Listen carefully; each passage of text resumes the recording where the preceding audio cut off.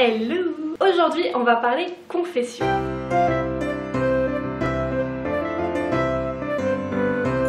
Je vais vous parler de 5 films, en fait 5 adaptations de livres au cinéma dont j'ai particulièrement honte.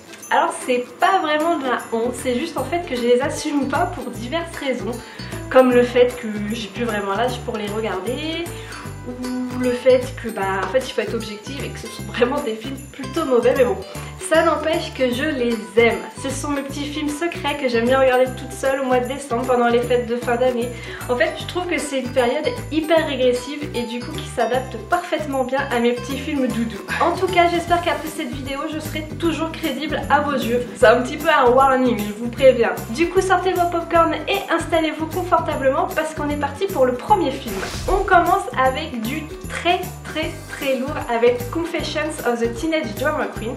Je vous laisse l'affiche qui apparaît, un effet spécial, on a l'argent ou on l'a pas. C'est un film avec Megan Fox et Lindsay Lohan. Alors, ça parle d'une ado qui rêve de devenir actrice à New York, mais manque de peau pour elle, elle va déménager dans un bled paumé, toujours aux États-Unis.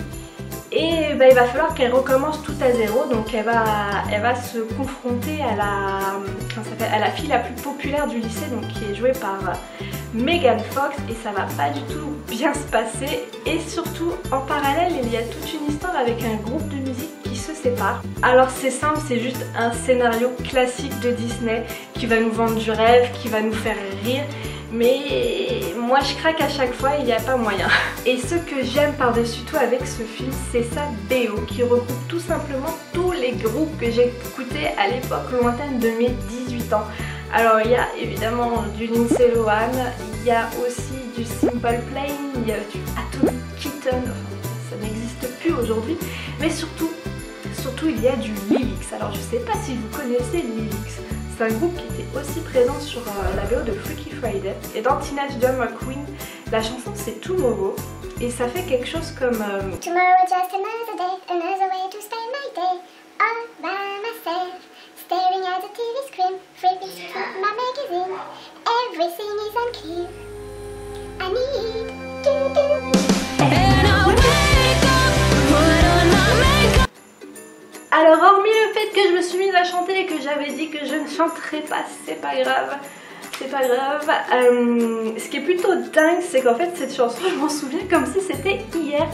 Et, en fait c'est pas du tout hier parce que Teenage John McQueen ça date quand même de 2004 ah, ça me rajeunit pas. Je pense cette vidéo je vais finir dépressive à la fin de cette vidéo. Sinon que j'oublie pas le plus important c'est un film qui a été adapté d'un livre de Diane Sheldon et qui s'appelle tout simplement Confessions of the Teenage Drama Queen et par contre il n'a pas été traduit en France. Changement de décor avec Souviens-toi l'été dernier, premier du nom dont voici l'affiche. Alors très peu de personnes le savent mais en fait c'est un film qui est adapté d'un très vieux livre de Loïs Ducon qui est une auteure spécialisée un peu dans la littérature jeunesse et qui malheureusement est décédée cette année. Alors son livre en version française s'appelle Comme dans un rêve et c'est plutôt paradoxal parce qu'en fait c'est pas du tout un, livre horrifique mais c'est un thriller. Alors souviens-toi l'été dernier c'est l'histoire en fait de quatre jeunes, euh, quatre jeunes qui vont tous partir à l'université.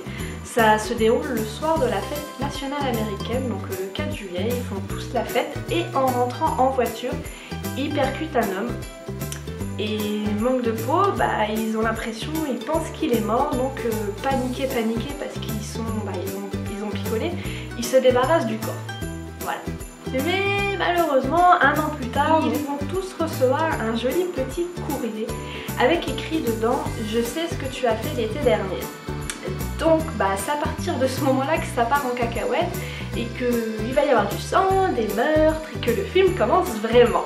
Alors c'est vrai que dit comme ça, ça peut paraître bizarre de regarder Souviens-toi l'été dernier pour Noël, mais je vous remets un peu dans le contexte parce que quand ce film est sorti, j'avais 12-13 ans et ben, c'est en fait tout simplement le premier film d'horreur que j'ai pu aller voir toute seule au cinéma parce que j'avais enfin l'âge de pouvoir y aller. Donc c'était un film interdit au moins de 12 ans. Donc euh, ça, ça, marque et ça, fait de, ça a fait de Souviens-toi l'été dernier pour moi un film culte. Alors certains diront kitsch, Mais je suis pas du tout d'accord, c'est pas du tout, du tout kitsch. En fait, pour moi, il y a vraiment plein, plein, plein de trucs qui font que j'adore ce film. Alors déjà, enfin, ça se voit sur la fiche, mais il y a son casting. Alors, il y a quand même Jennifer Love Hewitt, il y a Sarah Michelle Gellar, et Freddie Prince Jr., il y a aussi Ryan Philippe. Euh, je sais pas, mais une brochette comme ça, c'est assez rare dans les films. Et puis en plus de tous ces acteurs, il y a aussi le gros méchant, le, le mec qui, va tuer tout le monde. Donc c'est celui-là avec son crochet et sa parka de pêcheur. Moi je sais pas, mais ça m'a un peu traumatisé pendant pas mal d'années. Alors c'est vrai que c'est pas un scénario des plus ouf, mais en fait il va y avoir une ambiance qui est hyper typique des films des années 90 qui est une, une ambiance très simple en fait, très simpliste. Alors non, je n'ai pas dit neuneu, c'est une ambiance très simple et du coup je trouve en fait que ça n'existe dans les films d'horreur de nos jours et ça m'en rend un petit peu nostalgique. Alors plus récent et cette fois-ci dans un registre totalement différent, j'ai choisi 50 nuances de grès. Toujours l'affiche qui est là. Qui est du coup adapté du roman, je cite porno pour maman. Là, alors là, j'ai clairement l'impression que c'est la honte ultime d'aimer ce film. En fait, limite, il faudrait me fouetter sur la place publique, vraiment me jeter des cailloux. C'est impressionnant. Quand je dis aux gens que j'aime ce film, on me répond mais clairement avec un, dédain. Eh non, mais comment tu peux aimer ce film? C'est trop nul Ta gueule quoi Bref, oui, moi j'ai aimé le film. Alors j'ai pas du tout aimé le livre, mais j'ai vraiment apprécié le film. Et à vrai dire, c'est quand même devenu, à cause de toutes ces réactions, c'est devenu un vrai plaisir coupable. Cette histoire d'Anastasia et de Christian, ça reste quand même une histoire très charnelle. C'est plein de passion. Ça parle d'un homme qui finalement est plus faible que ce qu'il pensait. Et en face, il y a cette femme, il y a Anastasia qui se découvre femme et qui du coup se, découvre plus fort que ce qu'elle pensait. Et étrangement, je trouve d'ailleurs que ce film est assez comique, particulièrement grâce au personnage très maladroit d'Anastasia. Et, et, et, il, y a, il y a ce personnage Christian qui lui aussi possède pas mal de qualités comme euh, bah, évidemment sa personnalité. Puis il y a sa réussite euh, professionnelle qui est assez impressionnante, son appartement, sa jolie cravate, cravache. Bref, que des bonnes raisons d'apprécier ce petit Christian. Et dernier point, oui, encore une fois, c'est sa BO que je trouve absolument parfaite. Pour moi, c'est euh, le best-seller de la musique de film. Il y a des titres de Skylar Grey, d'Ellie Goulding, de Beyoncé, de Sia, de The Weeknd. C'est vraiment une BO qu'on peut écouter tout le temps. So love me like you do, la love me like you do. Love me like you do, Touch me like you do, touch me like you do. Désolée, c'est plus fort que moi. Je sais pas pourquoi je chante à chaque fois.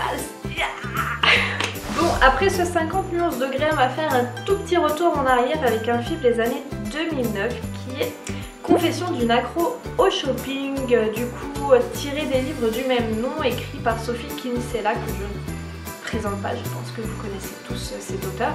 Le film nous raconte l'histoire de Becky, aka l'accro du shopping, qui dépense, qui sort ses cartes de crédit, comme si c'était la fête tous les jours. Malheureusement pour elle, elle va perdre son emploi. De son, ce sont des choses qui arrivent ma foi. Mais, mais, mais, tout va bien puisqu'elle retrouve très rapidement un emploi dans un magazine financier. Oui, vous m'avez entendu, un magazine financier, donc extrêmement paradoxal vu qu'elle ne sait pas du tout gérer son porte-monnaie. Mais surtout, il va y avoir son nouveau boss, son très très très très intéressant et mignon nouveau patron. Alors ce film est un peu considéré comme le diable s'habille en Prada du pauvre. Ce que je trouve particulièrement méchant parce que ok c'est pas le film du siècle mais il y a quand même beaucoup beaucoup de qualité et je... Bah, c'est simple en fait parce que je regarde ce film plutôt régulièrement et je m'en lasse pas. Alors qu'est-ce qui fait que ce film est dans mon classement doudou? Eh bien en premier c'est grâce à son, à son article, c'est grâce à son actrice principale Isla Fisher qui est parfait. Peu importe ce qu'elle fait dans ce film, et franchement, c'est tout le temps ridicule. J'allais dire c'est très souvent ridicule, non c'est tout temps ridicule ce qu'on lui fait faire. Elle garde toujours une fraîcheur, ce qui fait que, en fait, le film est vraiment décomplexé. On ne prend pas la tête avec des morales super lourdes. Non, le film va juste enchaîner les gags sur les gags et ça fait du bien. J'adore par exemple cette scène où Becky va danser avec son patron. Et elle a une façon toute particulière de danser Et aussi il y a tout le running gag avec son recouvreur de créances au téléphone. C'est assez exceptionnel à chaque fois. Mais attention, c'est une comédie romantique. Donc je vous ai parlé du côté comédie, maintenant on parle du côté romantique. Donc il y a cette histoire entre Becky et son boss et cette histoire est juste trop trop trop trop mignonne. Je ne peux pas résister à les voir en fait se tourner autour, voir comment ils vont se rapprocher. Je vais le redire encore une fois, mais c'est trop mignon. Et il y a cette fin, c'est une... Euh, c'est un film de Lover. Alors bien sûr, comme tous les films qu'on a vus jusqu'à présent, il y a une BO. Non, je ne vais pas chanter. Alors ici, dans Confession d'une accro au shopping, on retrouve des titres inédits de hum, Quête de Luna, de... comment elle s'appelle déjà? De Natasha Bedingfield et aussi il y a un très très bon titre de Lady Gaga qui s'appelle Fashion. Et si vous aimez du Lady Gaga, en tout cas tout ce qu'elle faisait au niveau de ses premiers albums, style Poker Face, allez écouter Fashion parce que ça vaut le coup. Et pour finir, je vous donne l'argument ultime, c'est-à-dire que si j'ai pas encore réussi à vous convaincre de regarder ce film avec celui-là, vous allez courir courir acheter le DVD. C'est la présence au casting de Kristen Ritter qui est Si vous ne la connaissez pas, c'est l'actrice euh, qui récemment joue Jessica Jones. Donc si vous voulez la voir dans un registre comique, eh bien vous avez ce film. On termine ce petit classement avec le journal d'une princesse et sa suite un mariage de princesse, tous deux adaptés de la série à succès euh, mondialement connue de Cabot, Journal d'une princesse. C'est l'histoire toute mignonne de Mia qui du jour au lendemain va voir sa vie totalement chamboulée tout simplement parce que la mère de son père décédé, donc sa grand-mère, débarque et lui apprend qu'elle est en fait l'unique héritière du royaume de Génolie. Donc, euh, bah, conséquence, elle va devenir, Mia va devenir une princesse et elle n'a absolument aucune envie de devenir une princesse.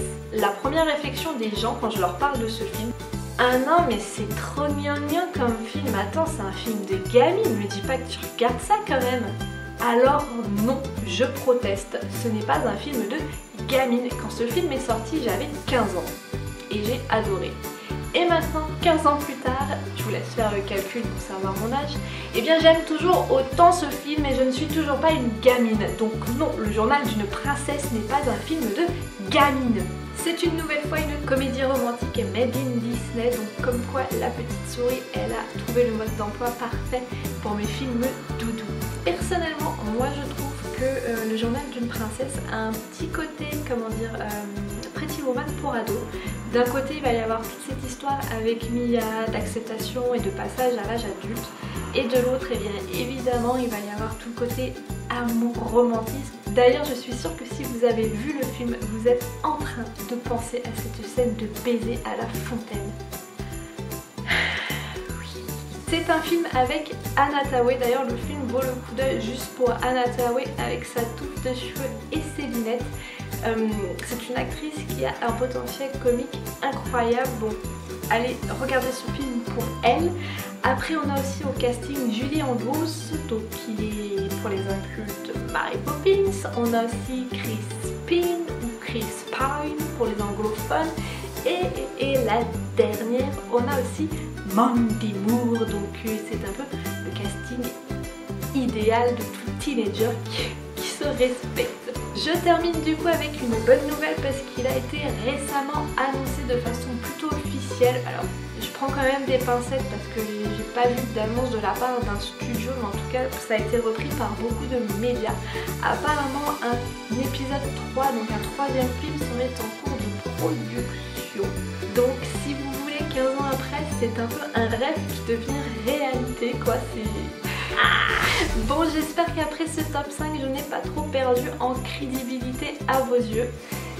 Même si je pense que c'est déjà trop tard. Tant pis, on va pas refaire l'histoire. En attendant, à votre tour de me dire en commentaire quelles sont vos adaptations chouchou inavouables. Je suis sûre, bande de petits cachotiers, que vous en avez plein. En attendant vos confessions, je vous dis à très très très vite pour de nouvelles vidéos. Ciao